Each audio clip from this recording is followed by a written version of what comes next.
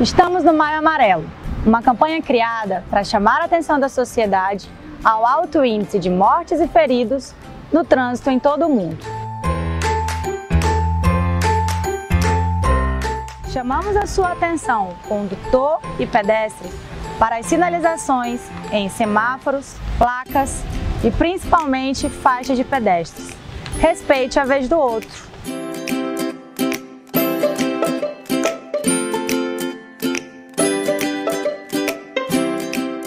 No trânsito, o sentido é a vida.